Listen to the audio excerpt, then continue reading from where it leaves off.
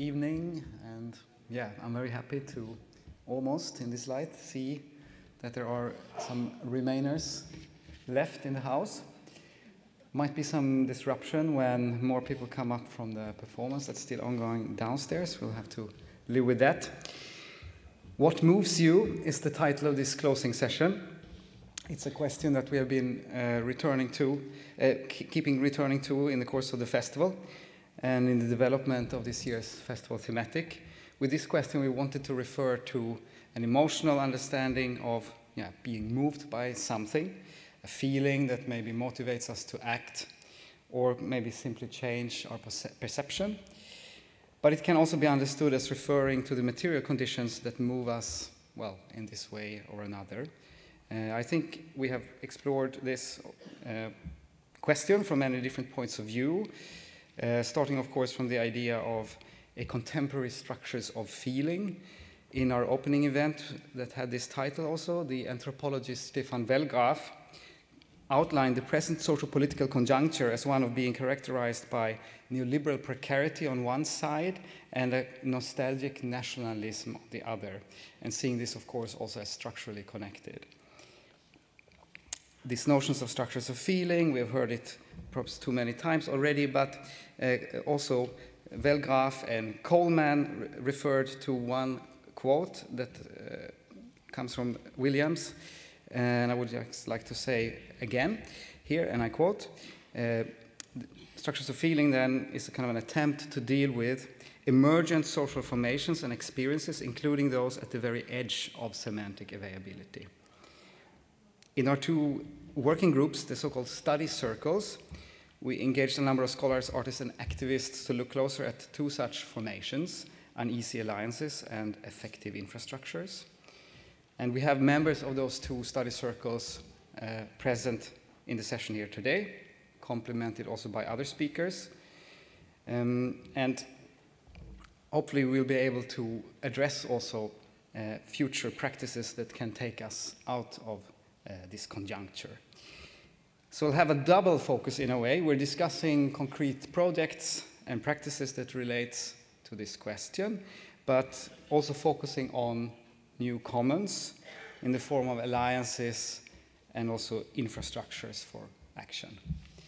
And for this discussion, we have invited Sumugan Sivanesan to act as your moderator, and uh, he has uh, kindly uh, agreed to follow many of the festival events, Uh, and he's drawing in reflection on that process. Sumo is an artist, writer, and researcher based here in Berlin previously a research fellow at the University of Potsdam at the Department of English and American Studies, where he was doing a project following artist activists organizing in the wake of the UN COP21 summit. He has produced projects with Momentum, ZKU, Art Laboratory Berlin, the School of Machines, and Black European Body Politics. And he was in 2005 and 6 co-director of Electro Fringe, which was an annual festival for emerging arts and culture in Newcastle, Australia. So I'd like to welcome Sumo and all of the participants in this final session. Thank you.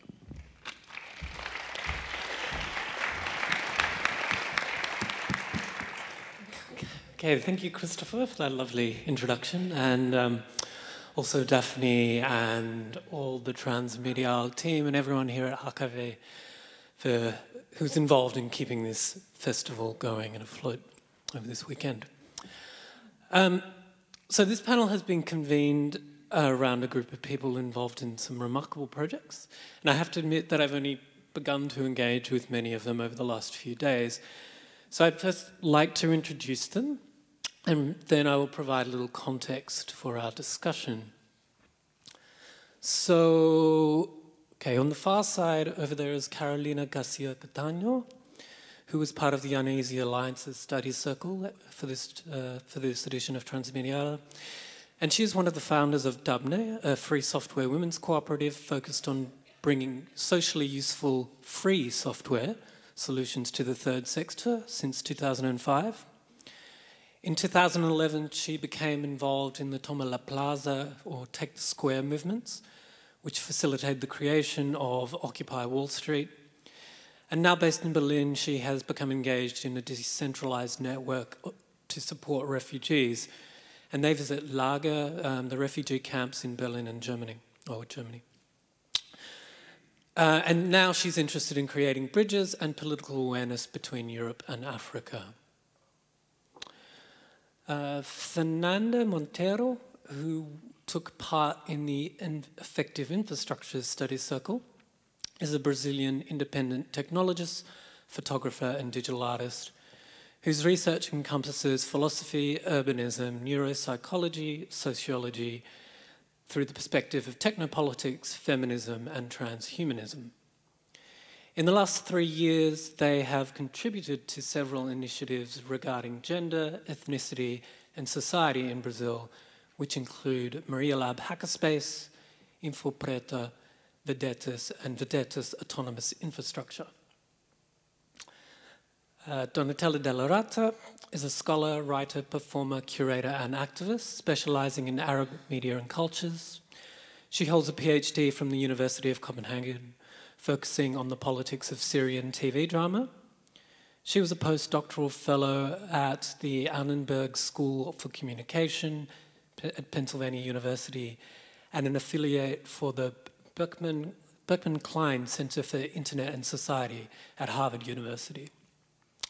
Between 2007 and 2013, she managed the Arabic speaking community for Creative Commons, and she's co founder and board member of the website Syria Untold that received a Digital Communities Award at Ars Electronica in 2014. She has curated several international art exhibitions and film programs, including Syria Off Frame, a show of more than 140 Syrian artists at the Fondazione Cini in Venice, 2015, and the Syrian New Waves on Contemporary Image Making in Syria, which was in uh, the Eye Museum, Eye Film Museum in Amsterdam in 2017. Um, and Donatella launched her most recent book here yesterday, Shooting a Revolution, Visual Media and Warfare in Syria, um, which I imagine is available in the bookstore. And Geert probably needs no introduction to a transmediale audience. um, okay, we'll skip it then, shall we? okay, then. So um, there were, um, I guess, to bring some context to this discussion, first of all, I wanted to raise two texts that um, have informed the convening of this panel. The first being Bridging the Gap Between Technology and Progressive Politics that uh, and Donatella had published in December last year uh, on NetTime and I think was reposted on Wired and probably some other places. And um, this paper seeks proposals to restore alliances between tech, progressive politics, and local movements. And they will elaborate on this later on in this panel. Um, another text is From Steel to Skin, uh, which is linked to in the panel description online, I believe. And there was a, a workshop convened around this text on Thursday. And from, from Steel to Skin is a four handed raw manifesto by Fernanda and written in conjunction with Nadège, who was here a few days ago but has returned to Mexico. Um, so Fernanda is um, yeah, from the Vedetas, which I mentioned earlier, and Nadège is involved with Kefir, which is a feminist libertech co-op.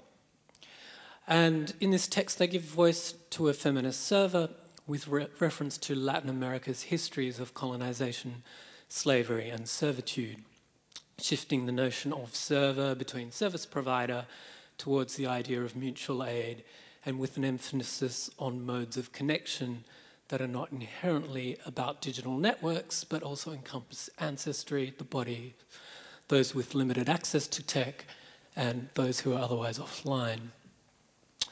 Um, I was also very interested to learn that Vedetas refers to an anti colonial history and um, post slavery movement in Bahia, and the services that Vedetas offer, such as a collaborative pad and spreadsheet, are named after black historical feminist figures. Antonia, Antonieta de Barros, the first black female parliamentarian in Brazil, and Evelyn Boyd Granville, an American mathematician, computer programmer, and educator working from the 1950s until the 1980s. So I think there's some strong resonances between what Fernanda does and what um, Carolina will talk about as well. And so I, I want to offer the commons as an idea that threads through the work of all of tonight's panelists. Um, and it makes me a little bit anxious because as I started to sketch out this text, I would attend a panel or a session where the commons would become unpacked or problematized in some way. And so to qualify my use of the term, for me, the commons has to do with a collective custodianship of knowledge and resources. And I use this resource, this term, this word resources hesitantly, as I would prefer to think in terms of relations, and we might get back to that later. Um, it's also related to processes of commoning or decommodification, and indeed for me, decolonization as well. And as was emphasized in the panel Creating Commons, um, convened by Cornelia Sollfrank and Felix Stalder on Thursday, arising from the commons is a need to activate the knowledges, the knowledge that are held in common and the forms and infrastructure that have been commoned. And I think this is particularly relevant to, for example, the kinds of books that Geert has been involved in producing with the Institute of Network Cultures, which are all free to download. The kinds of free software that Carolina advocates the use of, um, and perhaps even the, the witness videos and activist media that Donatella is concerned with circulating. Um, and at this point, I also want to raise the idea of the undercommons, as put forth by Fred Moten and Stefano Harney, um, which calls attention to the black radical tradition, uh, modes of self organization, and black sociality, and in turn spotlights the fundamental anti blackness that constitutes modernity. And this is implicit in the work of Vedetas. And I must also mention um, another substrata of the commons, and that is to be understood as the appropriated indigenous lands, labour, and life worlds on which much of our infrastructure is built. Um, and I don't think has been discussed enough in um, the sessions that I've attended. Um, I'm also very grateful to Lou Cornum, who was part of the Effective Infrastructure Study Circle, who yesterday drew attention to a warning issued by Lauren Berlant in another text that I know has circulated amongst the participants and organisers titled The Commons Infrastructures for Troubling Times. Um, and in this very rich and layered text, which unfortunately I've only read quite hastily, Berlant expresses his, expresses his suspicion about how the commons concept has been held up as a kind of utopian signifier. And incontestably positive aim, and this is a quote that threatens to cover over the, the very complexity and social jockeying and inter interdependence it responds to by delivering a, a, confirming effective surplus in advance of the life world it is also seeking. So Berlant goes on to suggest that the, the, the, better power of the commons is to point to a, to a, a way, oh, excuse me, the better power of the commons is to point to a way to view that's broken, to view what is broken in sociality. The difficulty of convening a world con conjointly, and although it is inconvenient and hard, and to offer incitements to imagining a, a livable provisional life. So I offer this as a thought to hold in mind, particularly as we consider alternatives and autonomous infrastructures to the current social media platforms, media servers, messaging services that many of us are entangled with. And to briefly return to the idea of infrastructure, Berlant discusses this infrastructure in terms of a glitch, a disruption or a breakdown, a glitch in the matrix of social reproduction, if you like, that foregrounds the mechanisms that might otherwise be invisible and that require repair or replacement. And perhaps in my rather simplistic reading of this text, Berlant suggests to me that rather than revive a system that reproduces these forms of dysfunction and relating, the glitch presents an opportunity to, pursue something else. And Berlant here argues for a contemporary counter-normative political struggle. Okay, so I think on that note, I will invite our first speaker,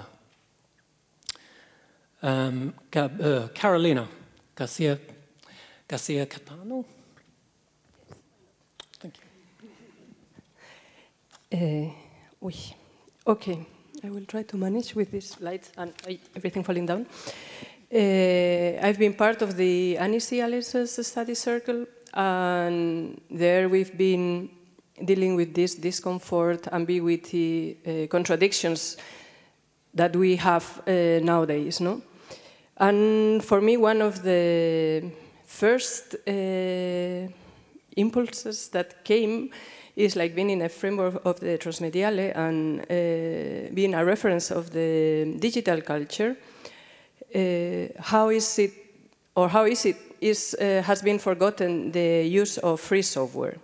No, like uh, nowadays, nobody or almost nobody is referring to free software as a key issue when talking about technology and digital culture. Um, but free software for me is uh, a key uh, issue that we have to address and not forget. No, the term has been run over by the idea of open source used in the startup world. Uh, open source has used uh, this uh, or misused many of the hacker spirit. Uh, has distortion, make distortions of uh, the values around hackers in the benefit of for profitable of neoliberalism. No, so we name it sometimes the same, open source, free software, but I want to claim the use of free software as the ethical solution and political uh, responsibility uh, when we talk about uh, technology. But also free software for me is not just about technology, it has been a new model of how to do politics. It has introduced as a political concept networks, uh, a way of esca escalation that goes through decentralization, has become uh, collaborative and cooperation and brings empowerment to people and sovereignty in the use of technology as uh, the way that is uh, as a possibility to shape or giving the possibility to shape the future of society. Because one thing that we cannot escape is that technology is going to shape it.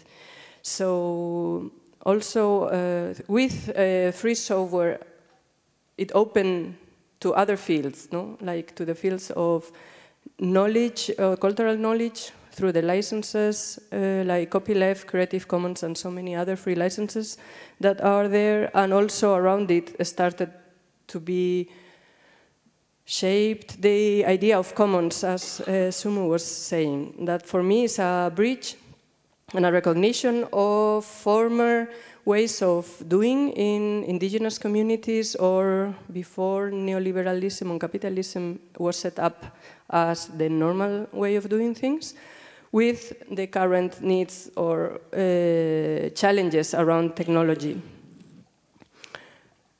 Also, internet has brought many new paradigms, like there is no intermediaries, there is a peer-to-peer -peer communication, and around it, uh, it has grown a lot of yes uh, collaborative ways of doing no? and producing knowledge and software, but also activism.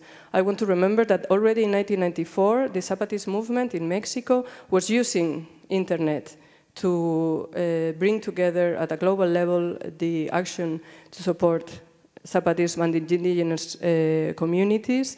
It has it, it, worked already with NetArt. It used already autonomous servers and brought the, the notion of hacktivism, from which many of us have learned and uh, actually became our way of living. That thing that moves us, or at least it moves me. No, but from there we can also see the impact that technologies uh, have had in the last wave of protest of the 2011 somehow. Starting in Tahrir, even though Tahrir not, was not the first step, uh, Tunisia had taken to the streets. Also in Senegal, marre was going out in the streets.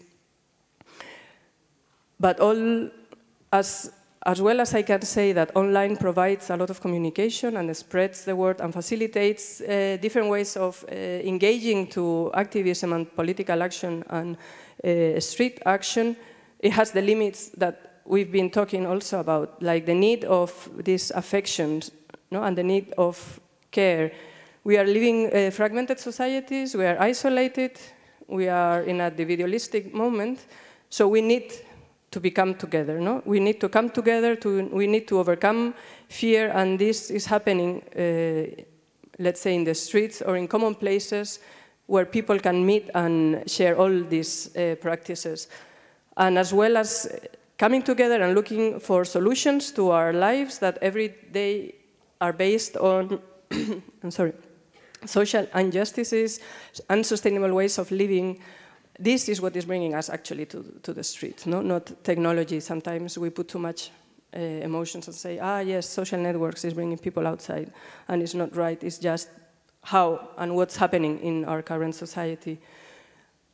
But I also want to uh, refer that if I'm saying that free software is giving a framework of how to build technologies, we need to reflect on where do the material, actually the physical material of the technologies that, are that we are using in a, such a massive way are coming from. And that's where I want to make a really emphasis on thinking about what means colonialism. We are looting all, uh, especially African countries, but we can say the same uh, in South America, etc., uh, for producing these technologies. No? So we are consumers of technologies in, instead of aware consumers. We are allowing this to happen. We are provoking uh, a lot of uh, suffering through this use, looking away of how and what are our technologies made of.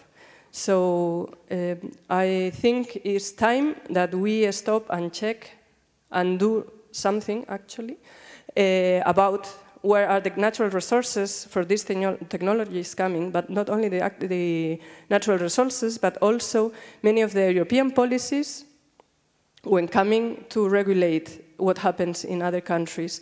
We are seeing now who, uh, who is defining no, the uh, terms like democracy or terrorism or things like this, but at the same time, we are not so much aware that for example, France, with the CFA, is issuing the currency of 15 African countries. So 15 African countries are depending directly on the economy of France, which at the same time is taking all the natural resources, which thanks to them, we are having all no, our technified uh, life. So um, I think we are direct responsible somehow of what's happening also in the borders. I want to reflect and to remind that thousands of people are dying at the, uh, on the borders of Europe, and many of these uh, causes are regarding uh, to this looting of resources for this comfort uh, society we live in. But even if we are doing this necro necropolitics, I don't want to just go into this depressive direction, which I don't think we have to uh, forget and we have to act.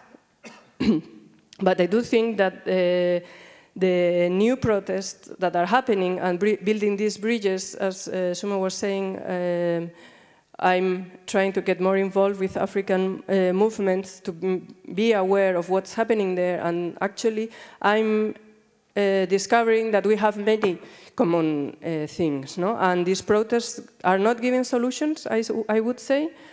It's not like ideologies. We are running away from this one solution for everybody will work, but are building up how-tos, frameworks of how to do things. And there is where inclusiveness and affective and care, non-violent, soft identities are coming into play. No? And for me, it's key that this uh, framework also uh, claimed by the feminist movement uh, of care in the big sense plays a big role. And that's why also I'm a great believer that happiness and joy is a way of resistance in a fascist world that we're living. Just I wanted to point out some of the, maybe you all are aware of, but uh, protests that are taking place and also that are bringing these uneasy alliances sometimes, like the Yellow Vest in France, who nobody knows if it's extreme right, extreme left, but the only thing is people are coming together against a situation of abuse of power by the political and financial um, powers since they don't know, like since they are bringing all these austerity measures and uh, destruction of welfare state. But also Extinction Rebellion is talking about the save of the planet and Sudan, uh, Sudan uprisings is bringing, uh, is challenging the split of a country by the colonial interest because they want to take care of the resources by protesting together against uh, a dictatorship.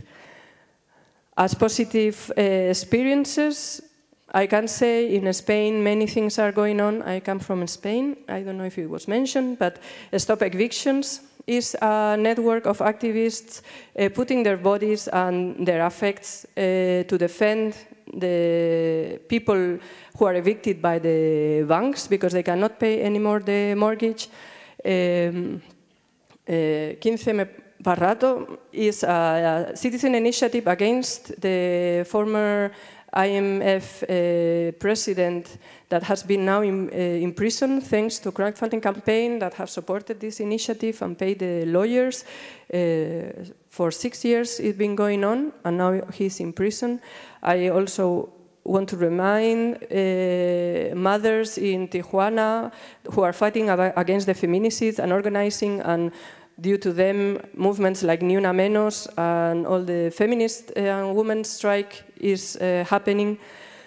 There is a network of networks, Solidarity Economy, uh, uh, called Europe, that is working also in these solutions, the squatting movement, bringing spaces, squatting spaces, spaces and bringing uh, self-organized um, um, practices into uh, practice.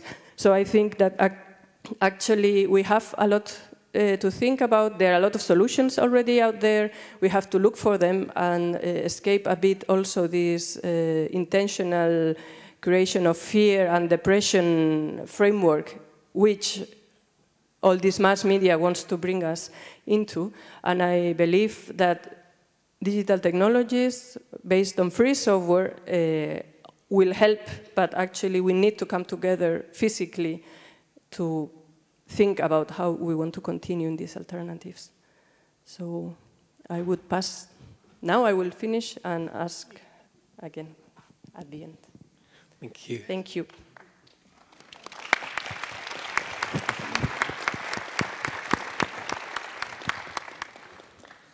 So maybe to pick up on the notion of uh, building bridges and bridging the gap, pass over to Donatella and Geert.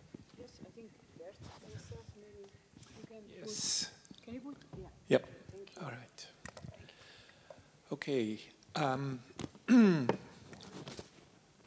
I'll um, give a quick update and, and, then we go into the, the different uh, topics and um, uh, issues uh, and strategies that uh, we want to discuss here. Um, over in Amsterdam at the Institute of Network Cultures, uh, we've been very much uh, still working on topic of last year's uh, Transmediale that was really discussed here uh, uh, concerning blockchain and Bitcoin and um, um, the debates over um, universal basic income, the Money Lab um, thing. We have a Money Lab uh, event coming up for the first time in Germany, um, in, um, uh, in Siegen, uh, and that's 7 of 8 of uh, March. So we're really excited about that to um, go there further into these um, uh, topics that do not uh, go uh, away. In fact, uh, they're really, really uh, urgent um, if we look at the mass precarity. So the, the question of how artists are going to make a living um, and that this is our special concern. It's really high on our agenda. Same uh, already mentioned um, our digital publishing uh, experiments. Uh, also there we have an international two-day event. We're doing that together with Florian Cramer in Rotterdam and uh, Nishant Shah in Arnhem. Um, and that's in, uh, in May, on um, 17, 18th of May.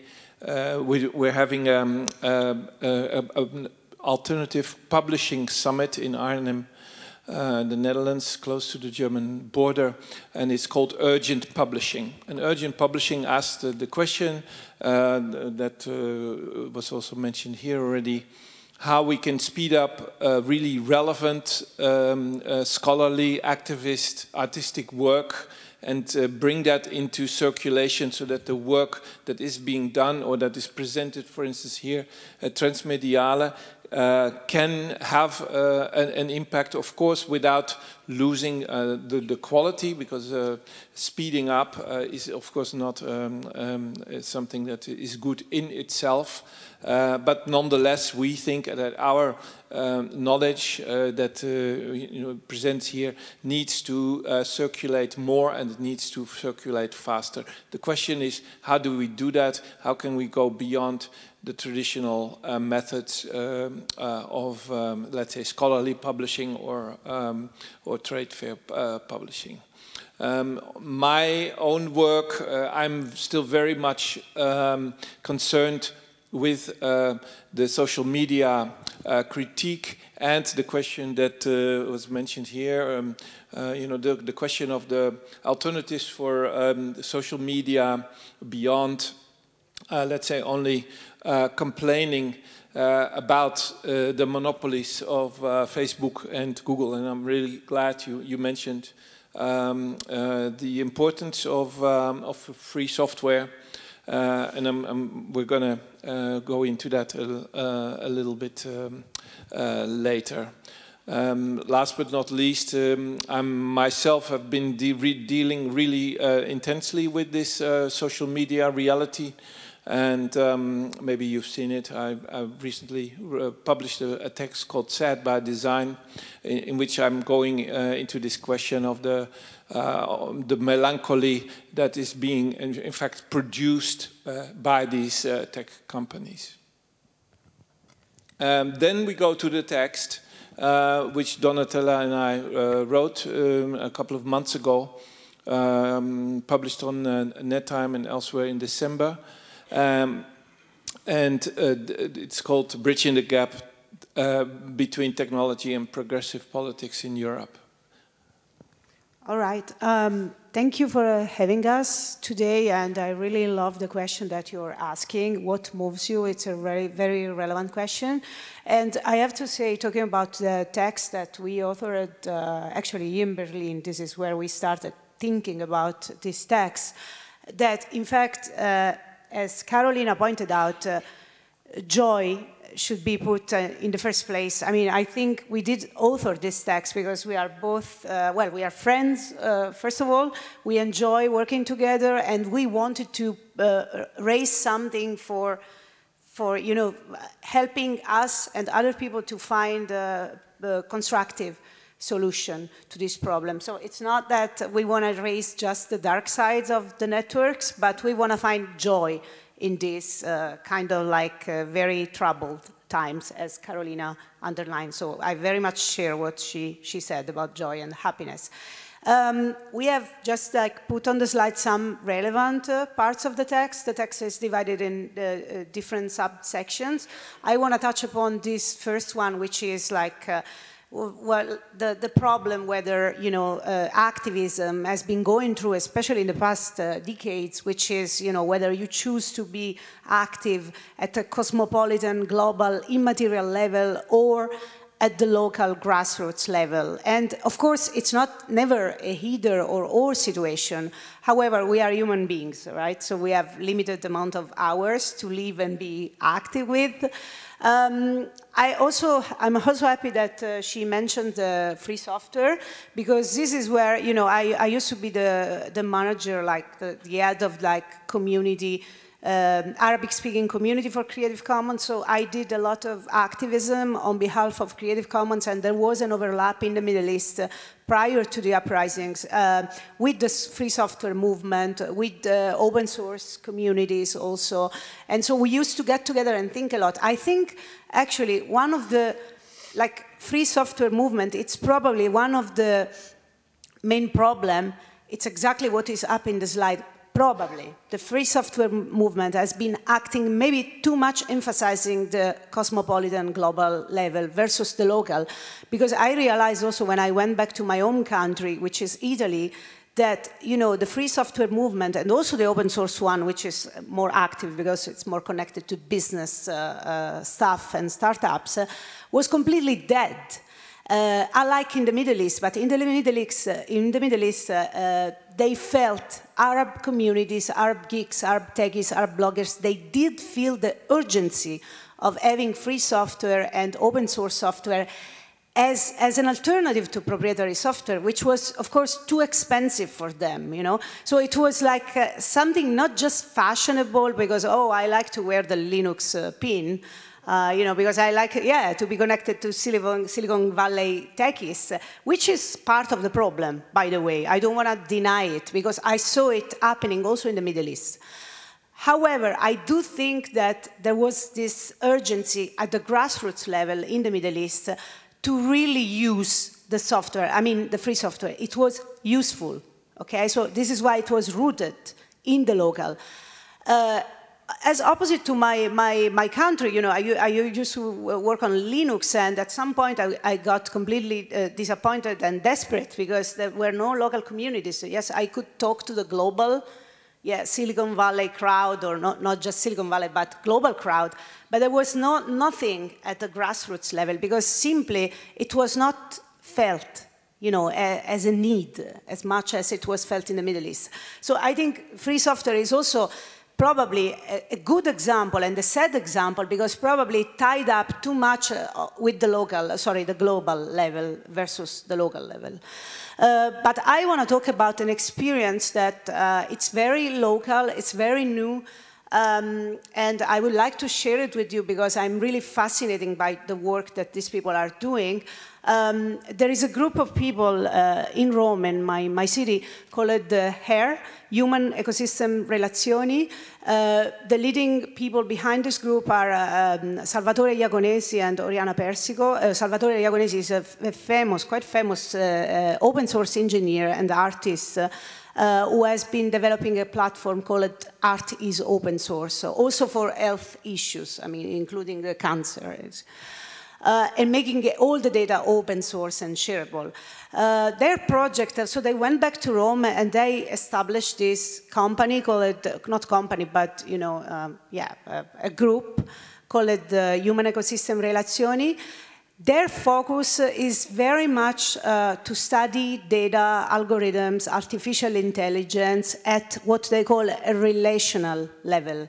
So uh, their research question is how to bring back the discussion from extractive data, which is what also we hear so much when we talk about platform capitalism, back to the relational aspects of data, which is quite challenging because it, there is something embedded in ourselves which makes us think that uh, data are ontologically speaking extractive. And so there is no way out you know? It's a little bit like uh, yeah the data realism. That's it. That's what we have so uh, they are emphasizing, and they use, uh, just to connect also to what uh, um, Sumugan has been raising, like the idea of the commons, they like to put, uh, to, to put the spotlight on, on um, definition of commons, uh, which in fact was made by three uh, kind of subsections. So the commons are not only the resource that we share and we call commons, but also the human relational ecosystem which is surrounding the commons and the rules, the code. So the rules that the community, the relational ecosystem, gives to those who are part of the ecosystem in order to regulate the commons. So they want to put uh, under the spotlight this definition, which is not just, let's not focus on the commons as a resource only. So defend and, uh, and struggle and fight for the resource. But let's remember that behind the commons, there is an ecosystem of relationship, and this ecosystem needs to be, uh, to invent new rules in order to uh, regulate the commons as an ecosystem. So just to bring up their experience, they do a lot of projects, but this is one very interesting project they just did in December in the neighborhood of San Lorenzo, which is a highly problematic neighborhood uh, with lots of problems uh, for you know drugs. Uh, very recently, there was a, a, a murder happening, uh, being committed against a, a teenager girl. Uh, Salvini, our infamous uh, defense minister, um, came there and it was even applauded by people because, I mean, it was like saying, okay, we're going to bring up security, you know. So there is a neighborhood where fear has been playing off a lot. So they established this, this uh, dati di borgata, is called it. Uh, it's like uh, rethinking data and artificial intelligence in a, in a local way, rooted in a local way. So basically what they do is that they host workshops with uh, shopkeepers, uh, kids, uh, school teachers at a very local level to build, for example, an artificial intelligence of the neighborhood. And they start by, I did some uh, ethnography on their method, which is very interesting. I, I do not have time now to explain everything, but if you like, I can explain later on a separate level, and also I hope there will be a piece up on uh, INC where I will explain extensively the method. But anyway, the main thing is that they put together this very different crowd, which is not just only the techies, the global, the cosmopolitan crowd. So it's just really the shopkeepers, those who sell stuff in the neighborhood. And they hold workshop in which they start uh, thinking about how do we build an artificial intelligence that is, for example, relational. Like, uh, uh, how do we uh, build data that are based on relations? And I, I witnessed that it's very difficult for the people who take part in the workshops to think about, for example, artificial intelligence uh, out of the box uh, that we usually think about, which is uh, artificial intelligence as a service. So we are customers, we need to consume something. Artificial intelligence is a little bit like a slave that should serve our need.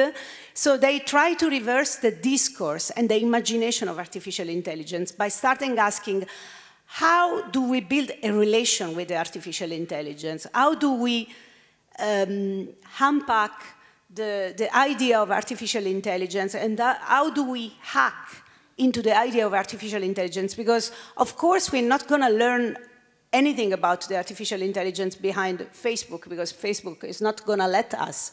But if we build our own neighborhood, local artificial intelligence, then the source can be open source. The code can be seen by everybody right? So this is the models that they are implementing in the San Lorenzo neighborhood, and because it was quite successful, they are now uh, uh reply, uh, copying it in another neighborhood, which has a very high uh, number of percentage of uh, people living there who are coming from different cultures, a lot of Muslims, you know, uh, and, and so it's quite a diverse environment.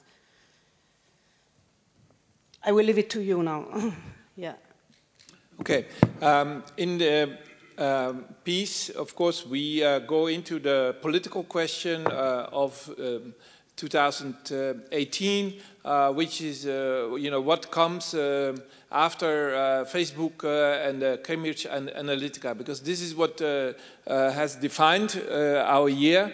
Uh, this, uh, the crisis and the numerous uh, scandals uh, uh, which uh, Facebook and being the owner also of WhatsApp, Instagram, um, is being going through. And of course, from, a, from a, um, an activist artistic perspective, it's really remarkable that from our side we don't hear much right? Um, even you can get regularly everywhere into debates. Yes, I'm still on Facebook. Uh, I need to be there, and so on and so on, right? There's a complete lack uh, of, um, uh, of a sense of urgency uh, to uh, develop uh, these, um, these um, alternatives. And we are analyzing uh, in this piece that this is uh, also because of this growing gap between the, the global uh, and the local, right? Because uh, uh, maybe on the local, on the global level, we can make a, a good and uh, perfect uh,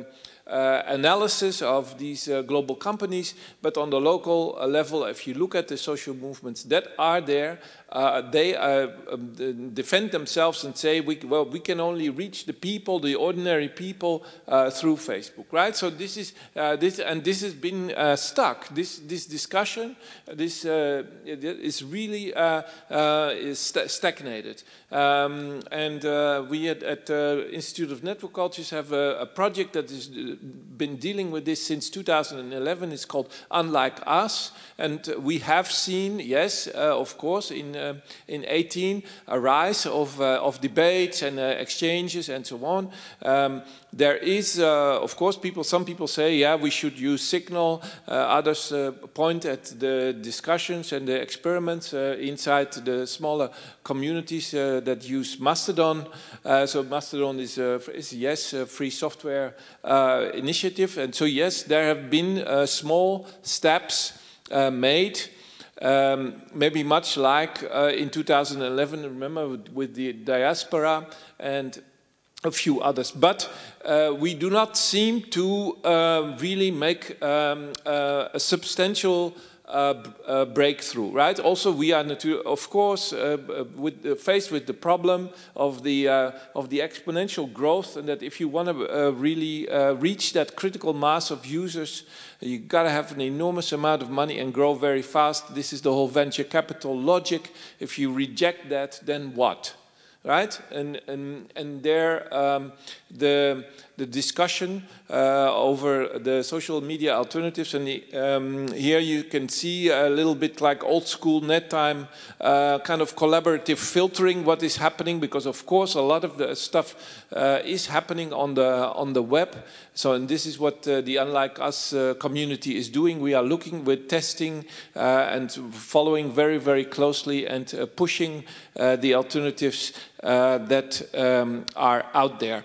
And now, of course, this is also framed in a wider discussion over the future of the internet uh, infrastructures, right? So we can say, okay, we, you said uh, also free software, you know, is important, but people don't use software anymore; they use apps. Yeah? And we can say, well, that's that's not good. We you should not use apps. We, um, but okay, this is the reality of, uh, of the billions. And um, uh, in, in that reality, if you're looking at the apps, you immediately move to, uh, let's say, Benjamin Bratton's uh, notions of the stack and of all the, the layers of infrastructure uh, that um, are out there. And uh, in Amsterdam, we, in June, we had a big kind of summit, which was focusing, for instance, on defining a more uh, European definition of that using a term like the public stack. What could be the public stack? What, how can we uh, define a digital commons uh, that goes back again to the infrastructure? And the infrastructure was also something you know that was discussed here um, uh, at this festival on uh, a number of occasions. So uh, the, the, future of uh, the discussion of the of the uh, internet as a as a public infrastructure is really out there, and we should really push also very much uh, to Brussels to have that on the agenda because we should not accept that the, the social media question gets uh, reduced to data protection, uh, privacy protection, and that uh, this problem is only a problem of regulation, right? In very much uh, uh, here, the, the uh, Bundesregierung and in Brussels, they love to reduce this question to one of regulation, right? And they will be very happy if Facebook will have to pay or Google will have to pay a billion uh, euros. It doesn't really matter as a fine, yeah, but we think this is not the way to go, right? We need to rethink um, uh, our vital communication infrastructures bottom up, and we need to come up with uh, alternatives from Europe. Um, I think we might, because we had other points, but I think we are like running, uh, yeah? So maybe we'll leave it to the other speakers and then we go back if we have time to more points, right? Oh, yes. okay, thank you. And um, the last speaker is Fernanda Monteiro. Well, oh, I tried to build some text um, before I speak too much. So, uh, so I think I'm very uh, comfortable to be here right now on this conversation because we are very all very aligned on uh, the use of open source and shared knowledge, not only like uh, building open source software, but building open source communities, open source uh, assets, open source thinkings. uh, so I'm not much into talking about uh, um, initiatives in Brazil. I could talk about half an hour, as I said, Carolina, for uh, we talked about how it will take too much time, but also uh, try to take um, a different approach on how we are building these infrastructures. Um, we had this um, study group on effective infrastructures, and maybe um, it's time also to think about other ways to be connected. So it's more like maybe it will be a little quirky, but I'm getting on a point later. Um, so uh, it's pretty difficult um, to not tell about a, little of political contest. Um, uh, it's not like that's I'm really proud to say I'm living and based in, based in Brazil right now, but uh, it's also um, a question about naming uh, some of the, the location and historical and political situation I'm, I'm involved. Um, and also, uh, when when it comes to uh, coming to other spaces like being here in Transmediale or being overseas, people used to exotify a lot about uh, what is this experience. And this goes through also the, the use we have been done uh, of technologies like social media sharing in this Facebook, Instagram way of mind of uh, being always sharing something about us, which is not about the other most of the time. Sometimes it's more, most of the times it's more about what we are doing, what we are eating, what we're thinking, uh, and not actually about uh, ourselves, more about what people expect from ourselves.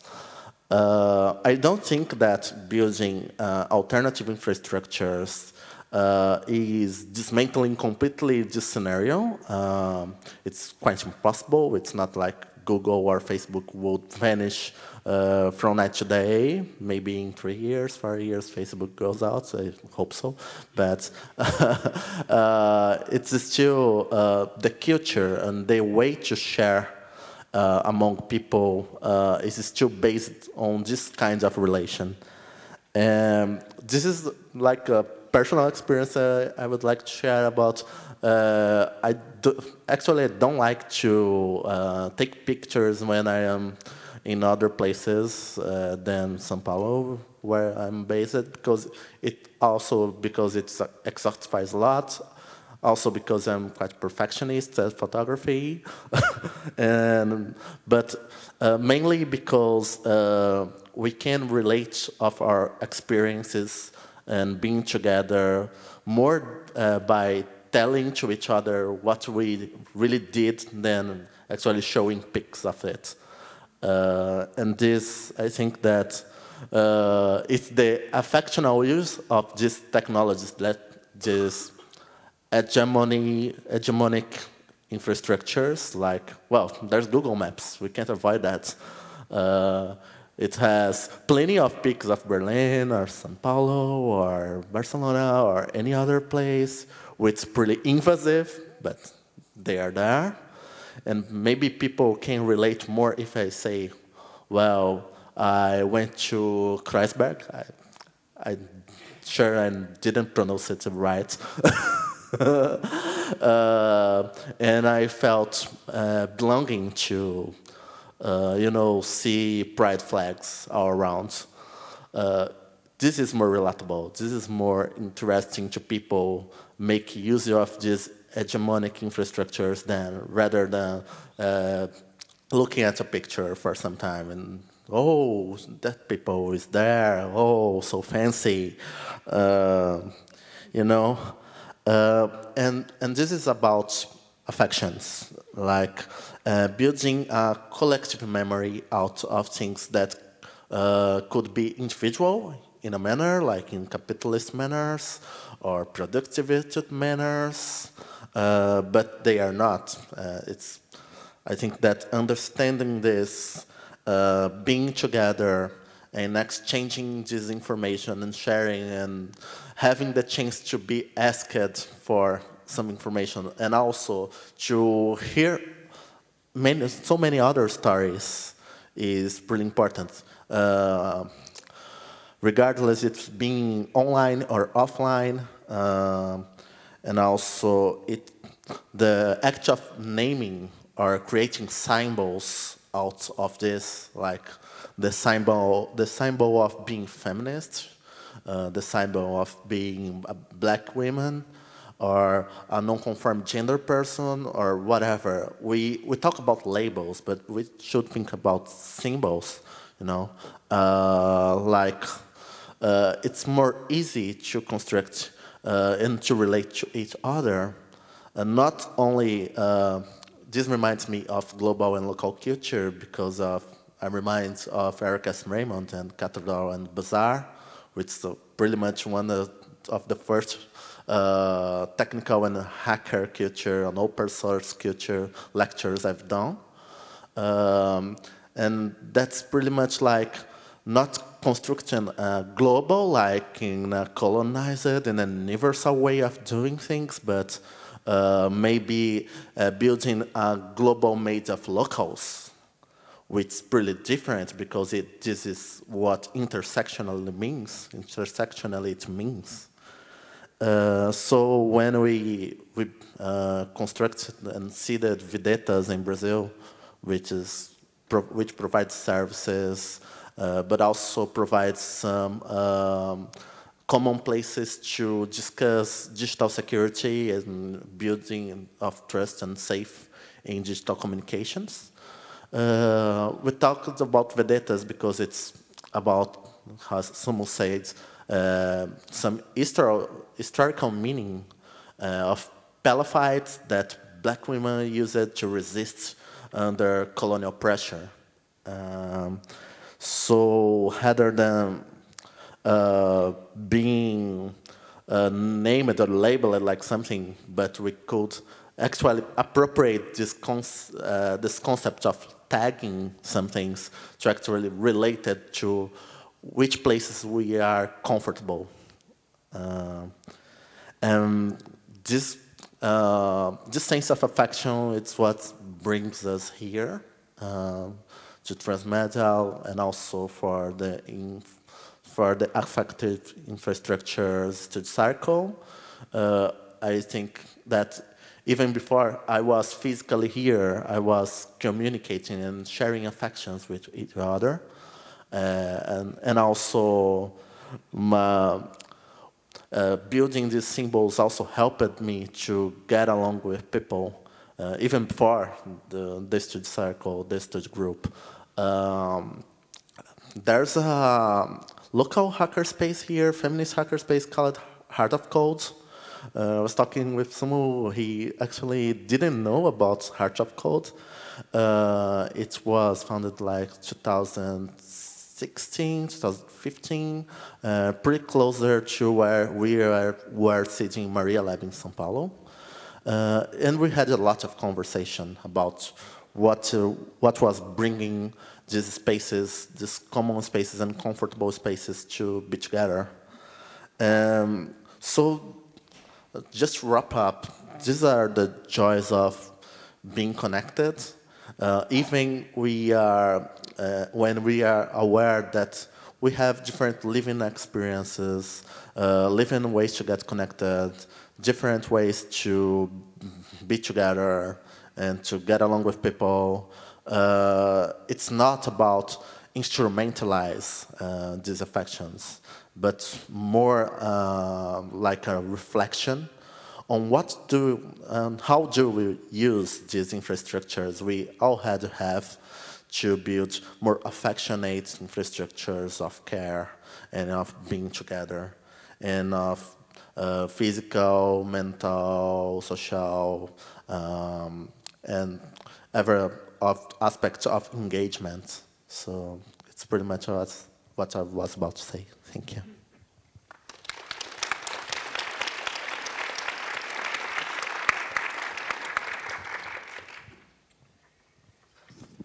Thank you, everyone. Um, so we're going to open into a conversation here, and then we'll open it up to the audience. Um, I don't know if there are microphones out there, but um, I have a question. I mean, in my scribblings here, I've, I've, I've highlighted all these kind. I guess these these kinds of effects that you've been talking about, about joy and happiness um, Geert's notion of sad by design, how um, certain kinds of software regimes are, or platform regimes um, do induce certain um, modes effective responses um, and interface design as well. I think I, someone was talking about that this morning. Um, and also, uh, I guess this idea of relationality in the commons as well, like how to build infrastructures out of relations rather than um, the provision of services. Um, maybe, and I'm trying to think of a neat way into that, and I think the one thing that maybe Carolina and Fernanda and maybe uh, you get as well might know more about is um, this movement of feminist servers. Um, could you maybe talk a little bit about that?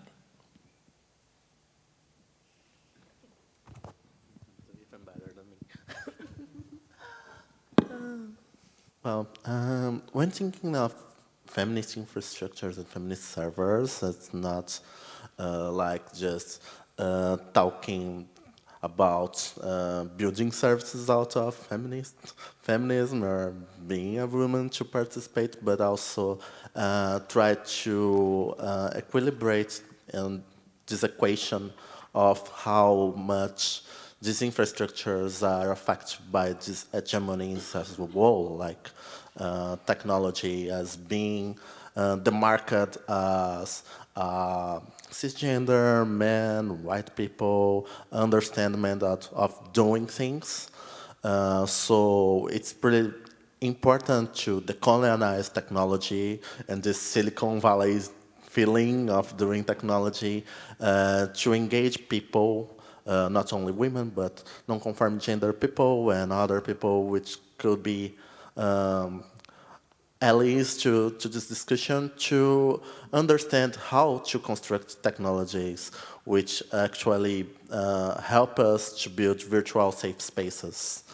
Uh, so there are plenty of digital feminist infrastructures right now, uh, and also non-digital feminist infrastructures. Uh, I think uh, it would be worth mentioning a lot of it, but I, I'm pretty overwhelmed right now.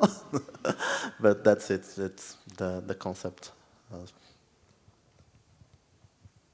Yes, just to add that one of the concerns also in the free software community has been why is there such a lack of presence of women? And from there, uh, many of these need no, that Fernanda was saying comes out. No, we need to build feminist infrastructures because we think of technology in a different way, and we are always uh, having this tension, no, in these uh, spaces around technology, and the effect that we are seeing also over the years that many women that were involved in uh, technology end up leaving this space, no? end up uh, withdrawing. So somehow comes this need of how do we keep engaged, no? and feminist infrastructures are thinking on that. Um, good. Would you like to say something about sad by design as well? Uh, no, I, I first of all, to say something about the, this issue because it's really uh, important. I really want to stress the importance of uh, you know, independent, uh, autonomous um, technical infrastructure, uh, even beyond uh, software, um, because let's say in the 90s it was normal to, to have your own servers and it, they were very widespread, and they've now all but disappeared and. Um, even in a, in a, in a community that is uh, preaching everywhere, uh, you know, that uh, there, we must work on a decentralized web and so on, which is uh, uh, Uh, the, the religious uh, community of uh, Bitcoin and the blockchain, uh, you know, which is really believing in decentralized infrastructures. They are not building actual infrastructure, right? So this is all kind of pseudo decentralized services inside the cloud. Yes, and uh, we should really uh, be uh, be aware of that when we're when we're using uh, these terms because uh, this crisis is really a, a, very serious serious one. so there is a, a really um, a, a, stagnation or even a, a, regression on even on the level of our uh, collective uh, imagination and there's even a, cognitive dissonance because we are uh, talking about decentralization and stressing the need but there is no actual evidence um, uh, that uh, we are uh, actually moving in another direction. In instead, what we see, and all the statistics uh, prove this is that there is a further decentralization every year, year by year by year. Uh, there is a further, there's a growing centralization of infrastructures and power um, uh, in uh, in this field. So that is a really uh, big concern, and we need to turn the tide there.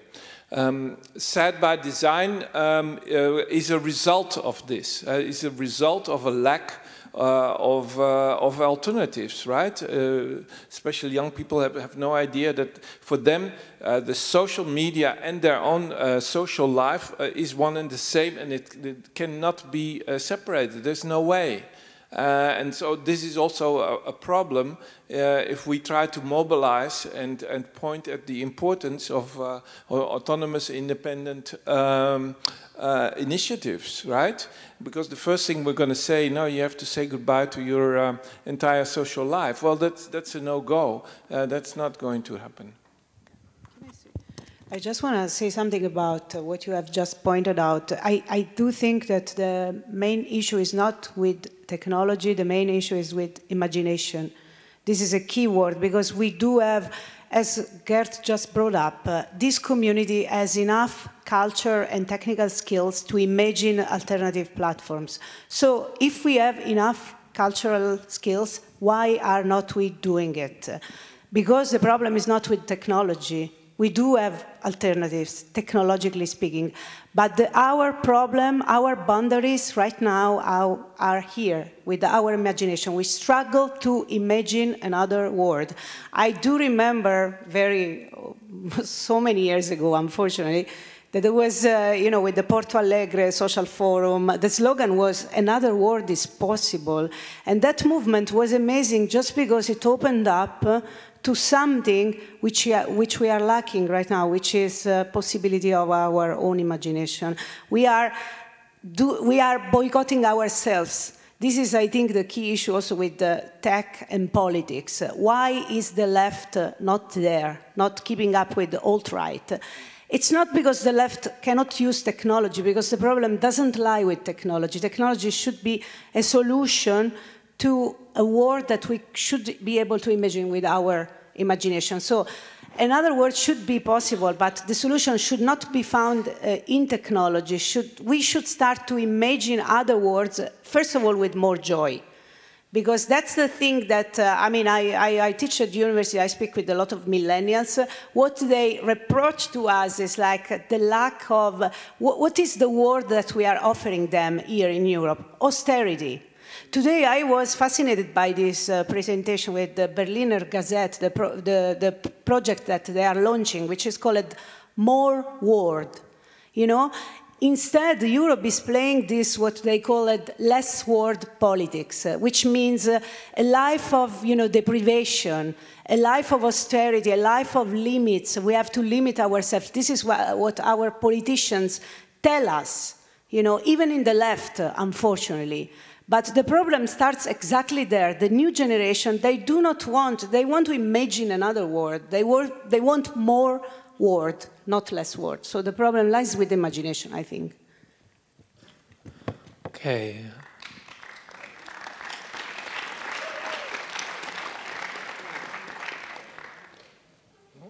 Um, I just want to field some questions from the audience. Is there anyone out there who has questions? There's two microphones up here, three microphones. Um, please make your way to the microphones if you have a question. Yeah, thank you for this panel. Um, I'm sensing an error, though, and I want to point this out. Um, Simu, you started at the beginning talking about something that was lacking from a perspective of how our high tech infrastructures are plundering uh, other people's lives and, and, and uh, ge geopolitical territories um, and resources to maintain this high tech infrastructure. And then I hear that we need to expand on our open source culture. We need to expand on this alternative AI. We need to expand some alternative networking. And maybe we need more social, physical social space in our cities. I was at the um, affective space session today, and there's a uh, one of the guests is a, a, a, the CEO of a co-working uh, Rent 24, which is displacing a 40 year old social center here in, uh, in Schöneberg. And it's like maybe if, if, as Donatella was saying, we went from more global to local and thought about what we could build for the local spaces that we connect with, we would need less digital. We would need less uh, networking ourselves through machines. So I think we, should, we need to fight for land. I think we need to fight for housing. I think we need to fight for free space that has nothing to do with technology.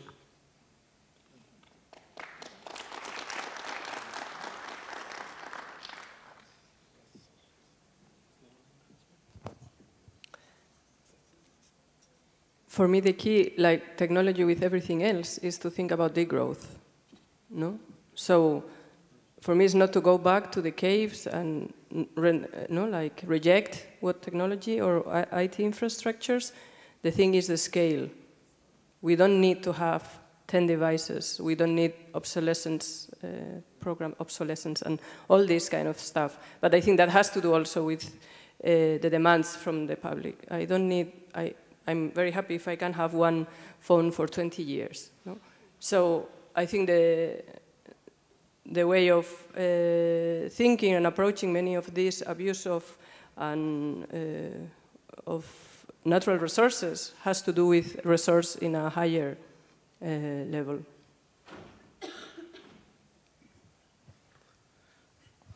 Well, um, it's really difficult to talk about um, um, not digital process because it's not a solution.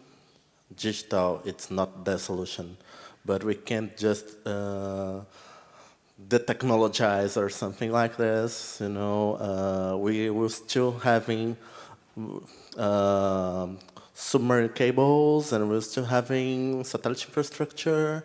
Uh, it's more about uh, how can we construct this to about more you know, uh, naming things to they um, become visible enough to not need anymore all, all of these questions, all of these issues we are talking about. Uh, bringing uh, more open source uh, culture is not about uh, making open source apps for putting Play Store. It would be a controversy. But it's also about uh, how can we build open source initiatives um, which people can appropriate themselves to make their own technologies and not technology from others or by others or whatever. So it's really much more about how do we construct new cultures of uh, naming things out to become visible, especially the invisible things that harms us, than actually making out of uh, more warfare or technologically warfare in some way. I'd like to recall, uh, speaking about this, uh, this question that you raised, I, I, like to recall a slogan that I heard in this uh, HARE, the, the local neighborhood uh, school of data, of relational data. Their slogan is, you don't need to leave Facebook, you need to leave your house you know?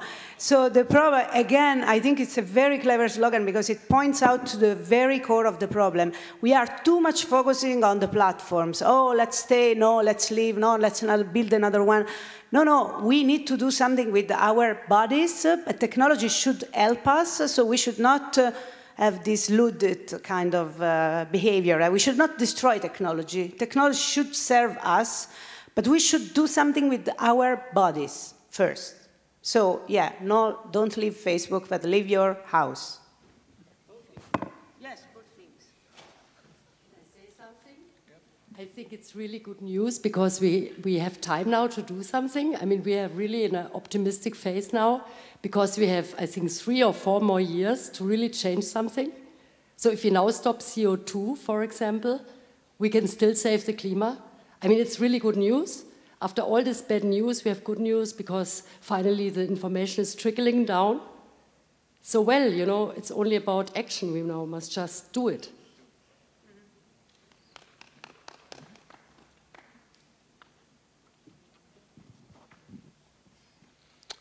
There any other questions to the panelists? Or yeah.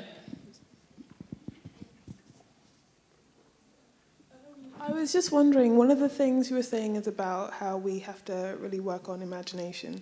Is there a way of encouraging this imagination, starting off this inspiration? How can we actually begin to get to that point? Because I see, I see the problem, like we're all kind of stuck in this, everything is bigger than us, what can we do to start this off? So how can we start thinking in that kind of way to defeat that almost?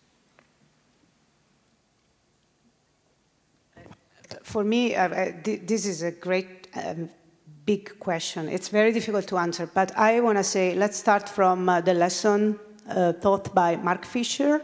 First of all, read Mark Fisher and learn, yeah, learn how to disimagine capitalism for example. So first of all, let's learn how to disimagine.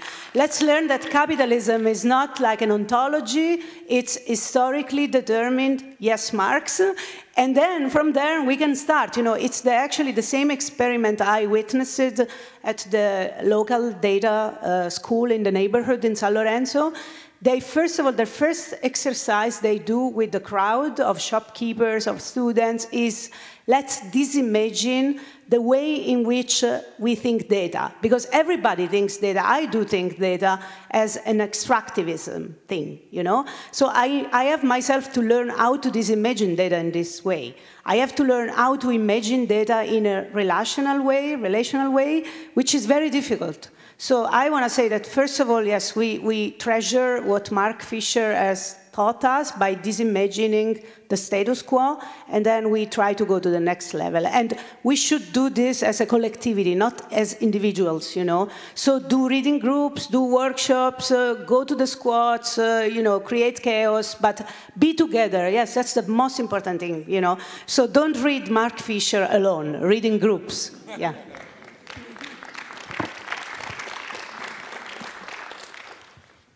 I heard read that art is also very good for imagination. Do you have any ideas on that? In, this, in these uh, areas? Art. Yeah. Of course.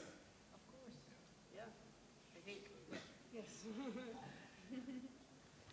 Every, every, act of creativity and of course art yes but again should not be if for me you know the recipe is that everything including art should be uh, thought about as a collective gesture you know we are also too much uh, uh, focused on art as like the creation of an enlightened individual inspired genius you know that should then expose his, his or her work somewhere you know in a fancy place no, we have also to disimagine art, you know. I mean, art as a, as a collective endeavor, not as an individualistic gesture. Otherwise, we don't get out from this, uh, you know, bubble that we have built. I, Yeah, maybe we need Hans Haacke of uh, Open Data, who kind of uh, maps the property relations. I think it would be very much helpful when you mention Creative Commons and free, free software and Eric Damon, uh, Raymond in one lecture to show the differences between these different narratives. And in Germany, we have the, uh, open, um, the, the, Wikimedia Foundation here uh, sitting in, from Germany. They are kind of uh, responsible for the Wikidata project. The Wikidata project is uh, providing structured, uh, structured condensed data of the whole Wikidata corpus. And that pipeline goes directly to Google. And Google, the, the value of that, the, not just the use value, the, the, the, the surplus value of that uh, pipeline is much more than what Google gives back to, to Wikimedia.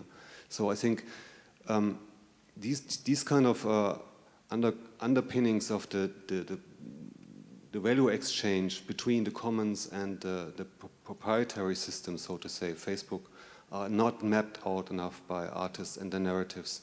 In, and we, are, we know about the property regimes, but we don't know enough about um, how much we are already uh, kind of sold out through, for example, the, the, narrative of Creative Commons, who kind of took up the idea of uh, free software, applied it to content, and invented the, the, the, the, genius ugly duckling of the non-commercial licenses, which were not accepted by open, the open data movement. And now we have a total neoliberal regime uh, running open data through the neo-capitalists or Elon Musk and so on, who kind of gives now the free patents uh, to, to kind of disrupt capital uh, in a disruptive capitalist manner to you know, give an impulse in his direction.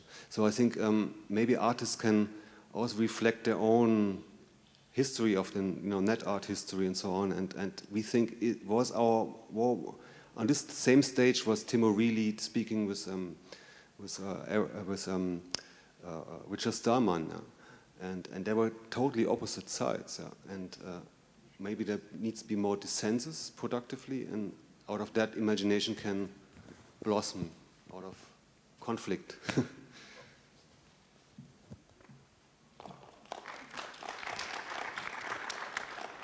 Uh, regarding the, I'm going to abuse, someone wants to talk? Or if not, I will abuse that I have the microphone. um, no, regarding this thing of imagination, it actually surprised me a lot, this kind of question, because for me it's like, imagine the life that you want to live. Imagine that there is no restrictions. And this, uh, put together with many people, brings all these possibilities. That's what we did in the free software community. Everything was possible. Now we see all these infrastructures, we were building them, no? It's said that there is no autonomous infrastructures. Still, 20 years later, 15 or more uh, autonomous servers are there, no?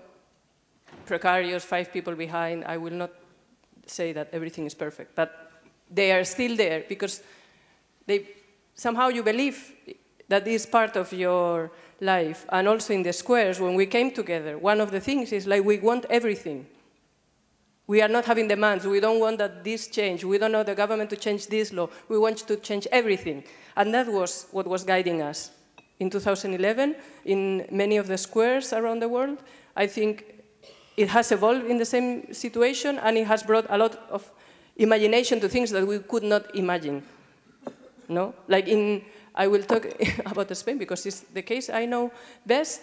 Nobody could imagine that you could put a banker like the former uh, president of the IMF into prison by citizens. Who the hell can imagine this guy that is there, no, president of the IMF? I mean, it's not just a neighborhood organization, no? And he's in prison. He's really looking really bad.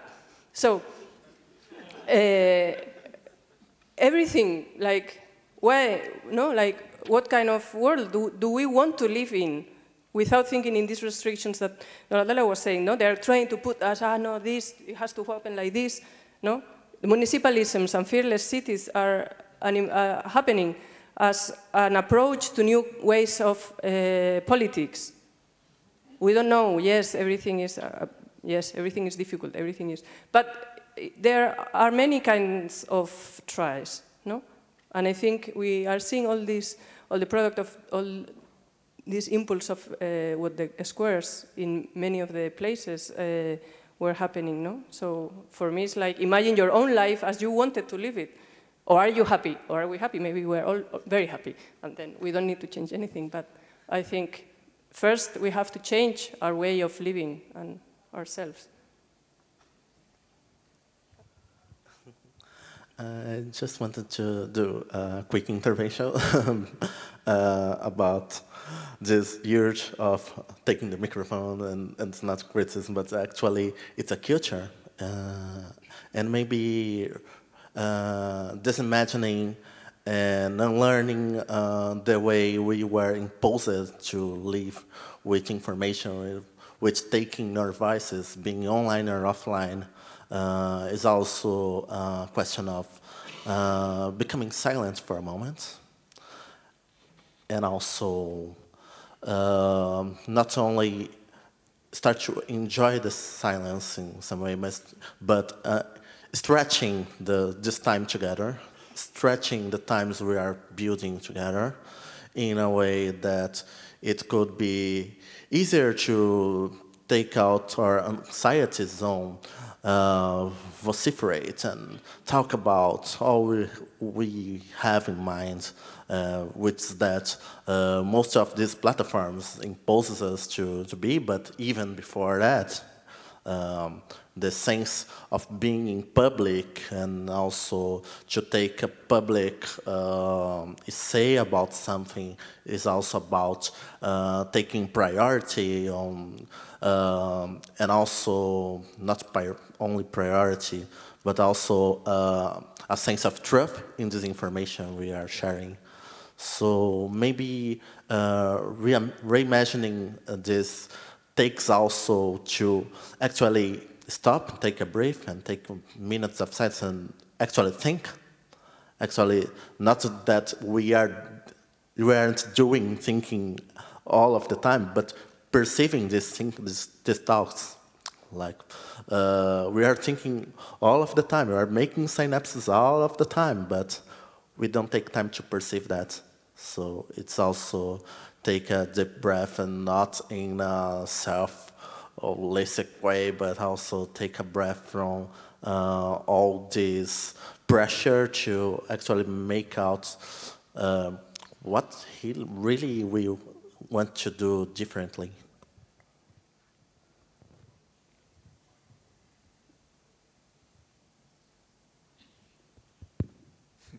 I? Okay.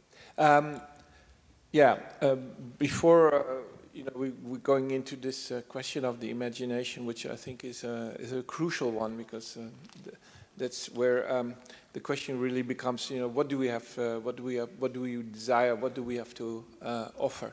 There is uh, the urgent question of, you know, um, an alt-right um, spreading really, and because of the the lack uh, of uh, initiative on our side. Uh, it's really um, spreading urgently uh, now. Um, there is the uh, European election coming up um, in, um, in, in, May, um, and uh, we need to think also, we need to not just only act politically, but remember that the technological imaginations that we have, they, they are directly linked uh, to political uh, configurations. And uh, the, the, example we, uh, we are using in our text is the Five Star Movement in, uh, in Italy. Remember, that is a Web 2.0 movement that started from uh, the movement of blogging, right?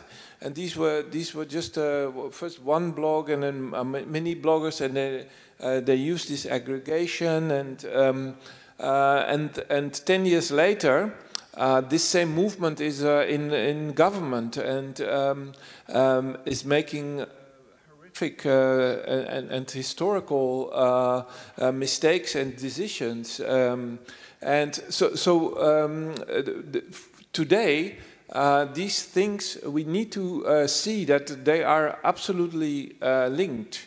And this is why we, we call in our piece um, for for technology and and people who who want um, alternative politics to really really uh, come come together because we need to understand uh, that uh, especially now and even more so in the future these two things cannot be separate and um, uh, if we don't, uh, of course, we can, um, you know, also have a good laugh about it. Why not? Let, let's uh, let's open up these alternative workshops for for for memes. Do do think think about memes in yeah in a in a different uh, in a different way, like uh, the group uh, Clusterduck, who was here um, at the festival uh, is doing. And there are more, more groups in, in Europe who, uh, who say, no, we, we can't leave that space uh, you know, to, to the old right. This is not uh, acceptable. We need to intervene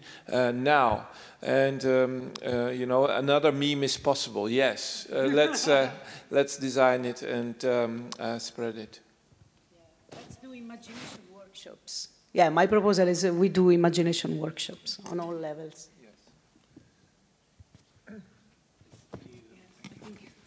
Okay, I think it is time to wrap it up. Okay, so I'm turning to Daphne. No, just very quickly because it's late. I would like to warmly thank Carolina, Nanda, Donatella, Geert, and Sumo for this closing discussion, and also very much thank all of you for being here and attending Transmediale 2019. Thank you. Have a good evening.